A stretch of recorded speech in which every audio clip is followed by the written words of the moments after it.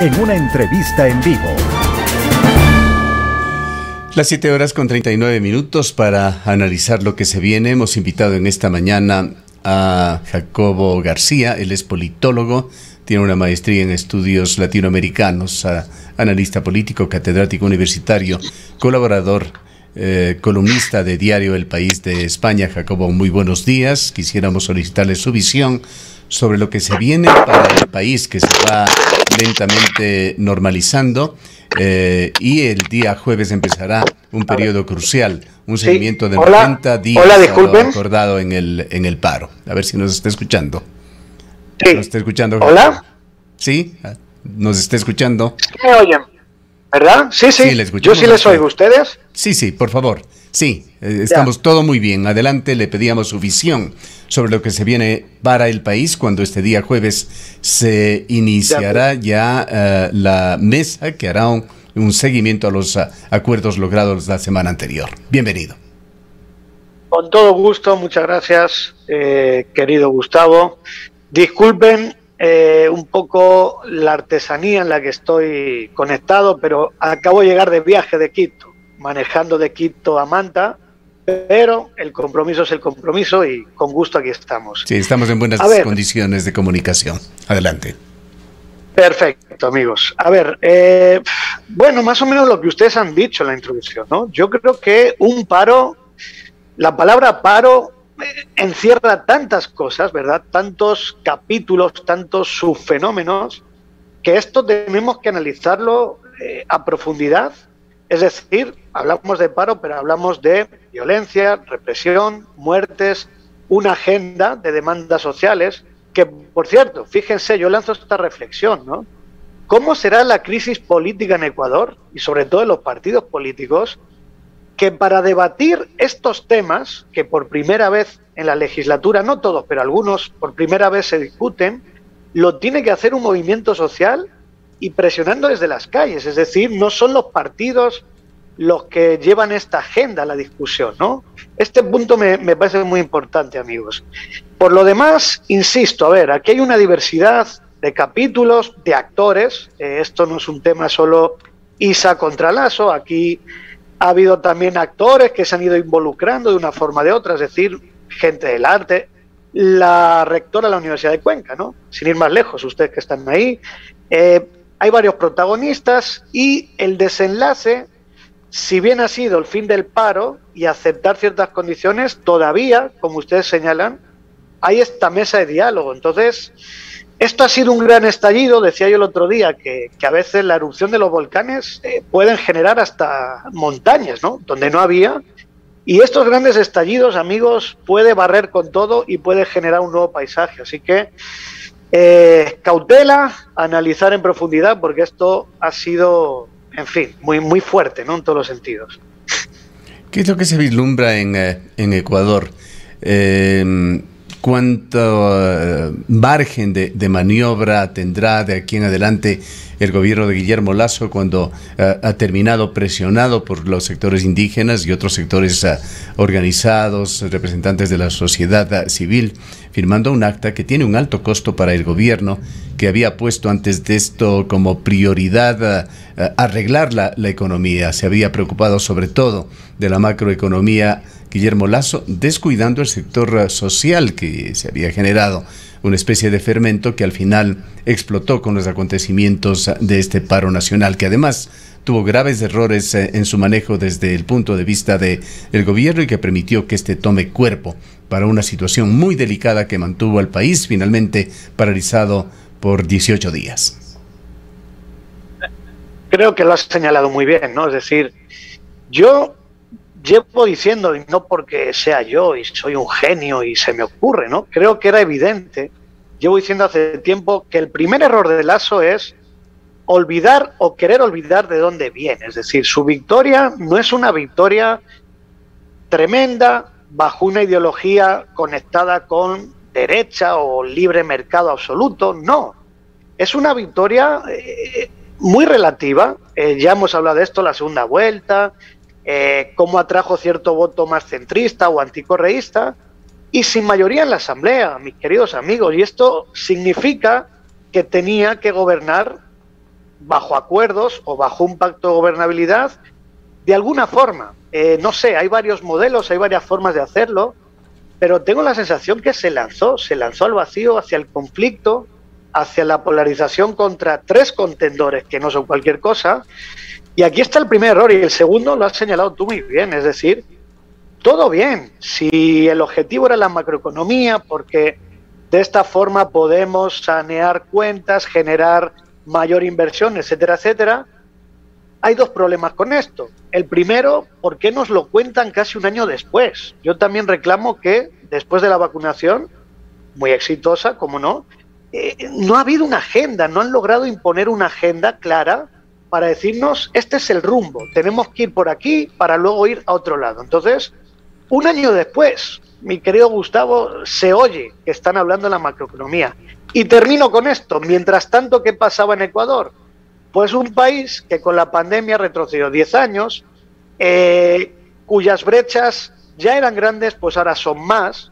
Eh, nuevos problemas que no estamos identificando, no estamos viendo, problemas mentales, brechas tecnológicas en la educación, ausentismo escolar, eh, los hospitales y medicinas. ¿Qué quiero decir con esto? Y termino, que hacía falta, de cierta forma, políticas sociales, intervención del Estado, porque este país estaba destrozado. Es decir, más allá de la ideología, hay momentos en la historia donde hay que abrir un poco eh, la puerta. Y creo que estos dos errores han desembocado en lo que hemos visto estos días. Entre otras cosas, ¿no? Habrá más factores también. Habrá ese giro político, esa mirada del gobierno, ese compromiso con la ruralidad, como anunció en las primeras declaraciones tras la firma del acuerdo de paz el presidente Guillermo Lazo. Eh, es que yo creo que no le queda más remedio, honestamente, o sea, no le queda más remedio. Y el problema para mí sale debilitado el gobierno, por más que luego pueda recuperar ciertas cosas, todavía falta tiempo y en política no está dicho, pero ¿por qué digo que sale para mí debilitado? Porque al final, eh, primero, otra vez, la, variación de discursos, de acciones durante el paro, que, que hoy no hablo con nadie, que mañana sí, que siempre abiertos al diálogo, pero no cedemos contra nadie. Bueno, por ahí errático, ¿no? Luego la detención de Isa para mí fue un gran error el asalto a la casa de la cultura también, pero mira, a lo que voy. Creo que sale debilitado porque al final quien le ha impuesto la agenda para gobernar ha sido el movimiento indígena más todo lo que ha habido estos días de paro y en las calles. Es decir, eh, en lugar de ser él el que hace tiempo hubiera puesto en la mesa esa agenda de discusión y hubiera convocado de cierta forma a los actores para buscar unos acuerdos mínimos, al final la realidad le ha venido a la cara. Eh, y podemos discutir si es legítimo que un movimiento imponga una agenda a un gobierno o no, que es muy discutible, aquí hay muchos problemas, ¿verdad? Pero quiero decir, Gustavo, si él hubiera materializado de verdad el Ecuador del encuentro, hubiera gobernado sabiendo que no hay mayoría en la Asamblea, que obviamente tiene por ahí adversarios que van a intentarlo todo, tenía que haberlo hecho desde el principio. En todo caso, para cerrar la idea y con tu pregunta, ojalá lo haga ahora, es que no veo más salida, no veo más salida que encontrar eh, un poco esos acuerdos hacia el centro, hacia una agenda más social, mientras sigue con su plan legítimo del tema macroeconómico y bajar un poco el conflicto político, ¿no? O sea, yo sé que la política también es conflicto, pero yo creo que este país, no sé si ustedes están de acuerdo, pero no da más, ya no da más. Yo creo que estamos todos cansados de tanto conflicto y pocas soluciones incluida la Asamblea, que también habría mucha tela que cortar, ¿no? Eh, de acuerdo eh, con su versión, Jacobo, eh, el gobierno de Guillermo Lazo queda debilitado desde el punto de vista político tras este paro, pero ¿qué pasa con otros sectores? El sector indígena que se veía dividido, muy dividido antes del paro, durante el paro, eh, lo que logró el, gobierno con ah, una serie de, errores, entre ellos la detención de ISA, fue unirlos, eh, unirlos incluso con otros ah, eh, sectores sociales como los sindicatos. Pero ¿hacia dónde va el movimiento indígena? En esto se generan también inquietudes e interrogantes y apelando justamente a su calidad de politólogo y de experto en estudios latinoamericanos, quisiera poner a consideración una de las declaraciones que tuvimos durante ese largo periodo del paro Paco Moncayo, un ex candidato a la presidencia de Ecuador, eh, militar, héroe del CENEPA, un político ecuatoriano que fue alcalde de Quito y ha tenido múltiples representaciones públicas, señaló lo siguiente, haciendo alusión sobre todo al libro que se emitió durante la eh, o tras los sucesos de el mes eh, de octubre del 2019.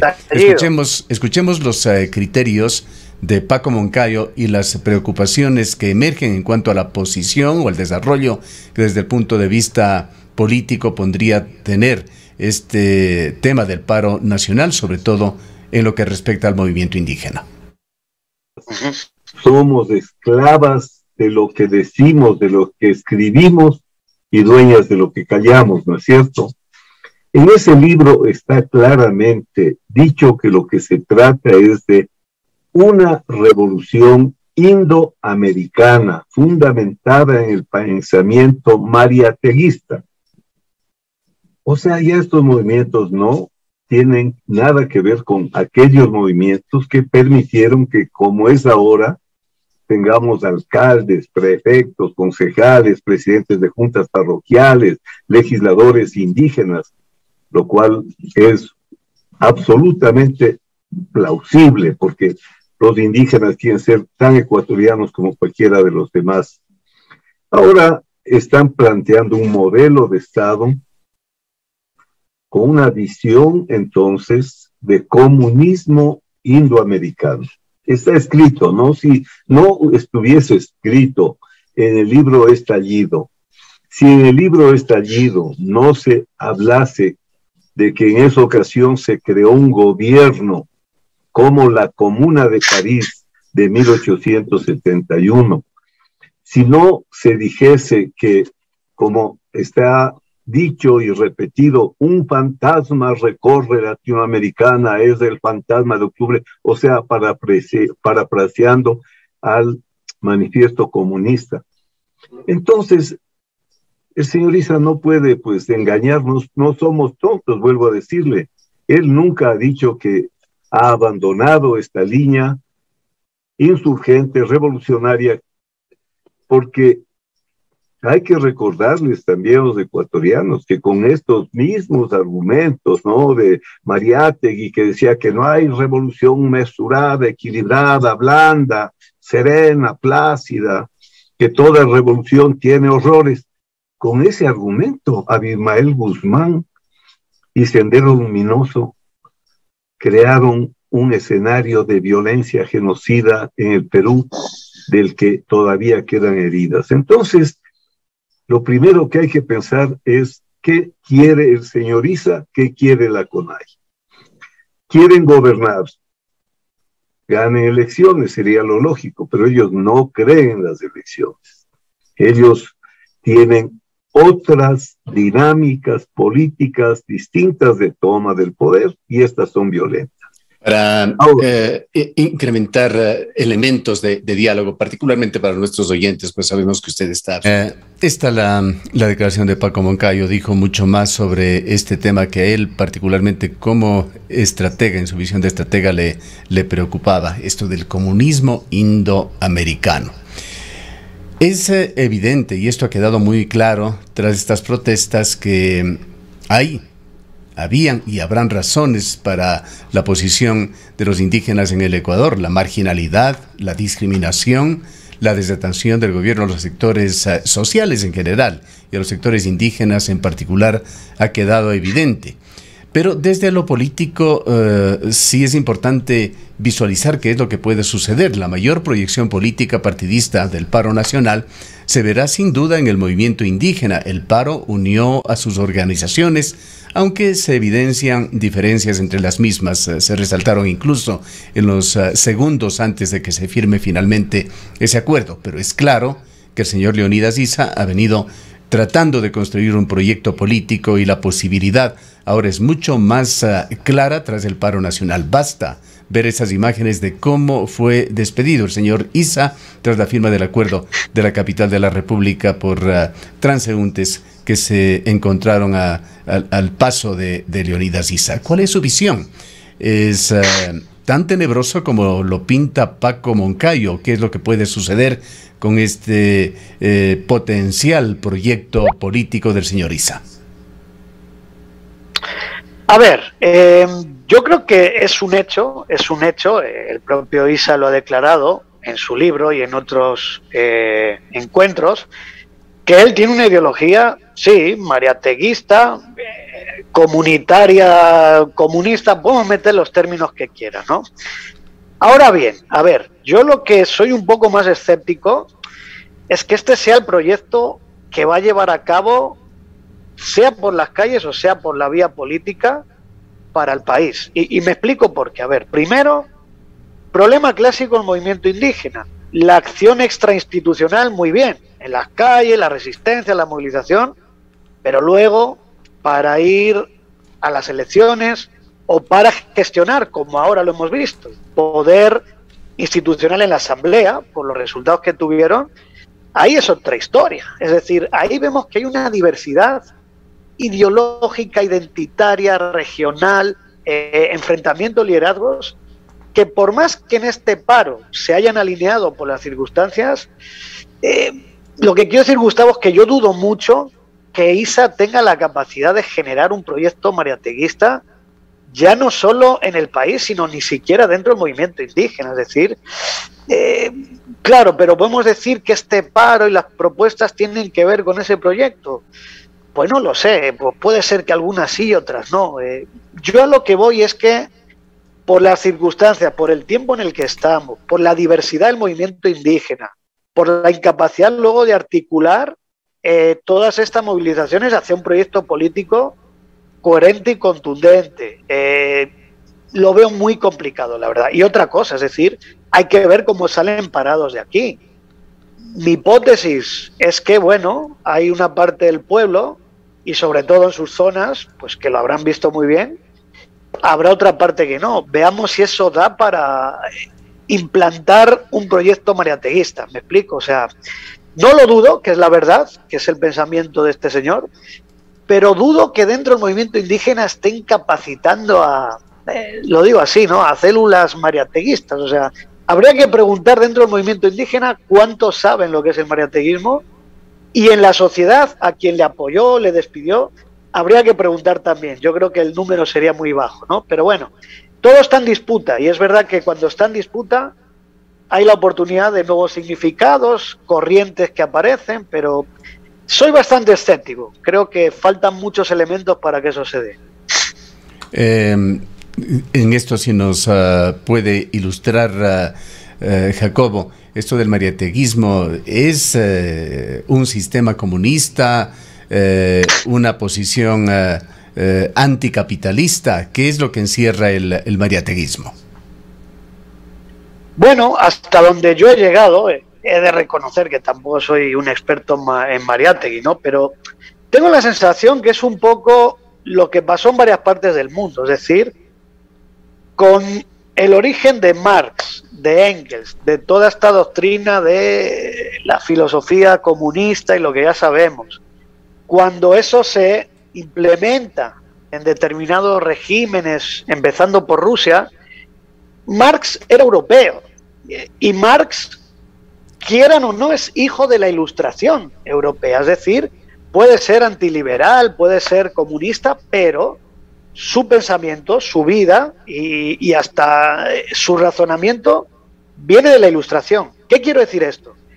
Que el contexto latinoamericano, el contexto chino, cuando llegan esas ideas ¿no? de, la lucha de clases, del poder para los obreros y demás, hay otros códigos culturales, hay otros sistemas, hay otra forma en la que eso encaja. Y resultado de eso que tenemos en China el maoísmo, en Perú, en América Latina, el mariateguismo, que para mí no es más que eso, es una forma de leer esas doctrinas eh, de una forma más latinoamericana, es decir, el tema del campo, el tema indígena, el comunitarismo, pero eh, habría que preguntarse qué tan vigente está esto, es decir, eh, creo que tuvo su aporte, sin duda.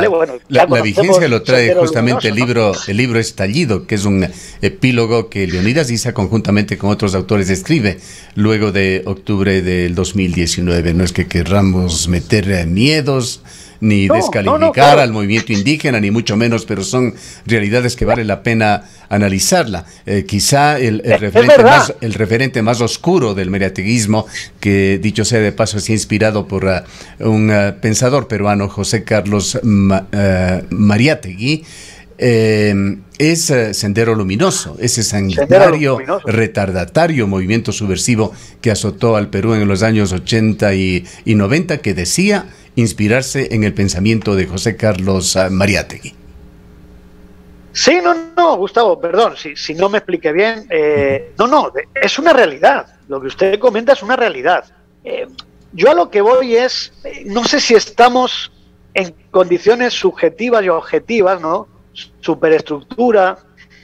no sé si estamos en un contexto internacional e incluso nacional e incluso dentro del movimiento indígena para que eso desemboque en algo así como vamos a decir lo de Sendero Luminoso, es decir, eh, porque eso ya fue un tema ya de guerrilla, de terrorismo, pero que plantó cara al Estado, eh, digamos, con una guerra, eh, pues bueno, de diferentes escalas.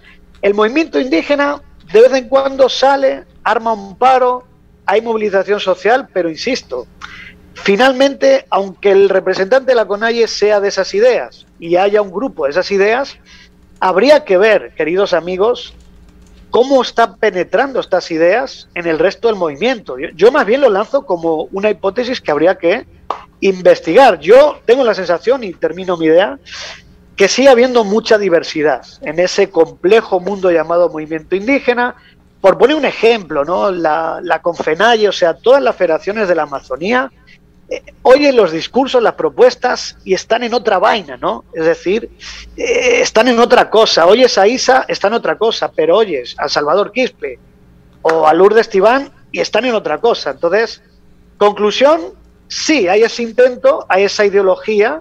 Isa es un cuadro muy ideológico, eh, anclado en una ideología radical, y sí, podemos decir revolucionaria, pero la pregunta que yo dejo es hasta qué punto va a poder materializar eso cuando creo que las condiciones internacionales, nacionales eh, e incluso el propio movimiento indígena, eh, creo que es complicado. No, no le van a dejar fácilmente extender. Ese sería mi punto, ¿no? Bien, eh, culminemos con la expectativa que se abre con estos 90 ah, días ah, en los que estarán funcionando estas ah, mesas de ejecución. El régimen de Guillermo Lazo se ha comprometido no solamente a ciertos temas económicos específicos como el de las gasolinas, que de hecho están ya en vigencia, tiene también que esto convertirlo en una política pública para focalizar el, subsidio de los combustibles. Por otra parte, se ha comprometido a derogar eh, decretos, a modificar los otros, que significan también golpes de timón, en, en este caso en el tema de políticas extractivistas, aquí, así como una serie de beneficios, particularmente para el sector indígena. ¿Qué expectativas tiene usted sobre estos 90 días?